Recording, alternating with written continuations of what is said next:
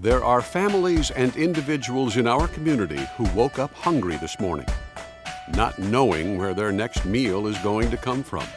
They may live next door to us or just down the street. They live in our neighborhood and they live in our town. Access to food is a basic necessity, yet hunger is everywhere. Increasingly, hunger is the face of somebody who has a job. It's an older adult, it's a veteran, it's a child. It's not who you think it is. We believe no one in our community should ever go hungry.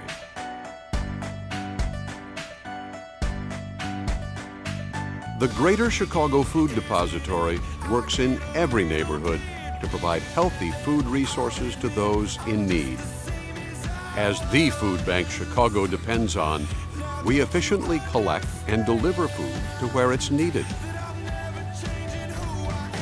We are strengthened by our network of over 650 programs and 20,000 volunteers. Every day, we provide food through our community's programs, including food pantries, soup kitchens, shelters, children's programs, mobile programs, and training programs, such as Chicago's Community Kitchens. We have seen that with access to food, the people we serve are able to build more self-sustaining lives. This magic that happens, it happens because every day there are people who choose to invest in our work.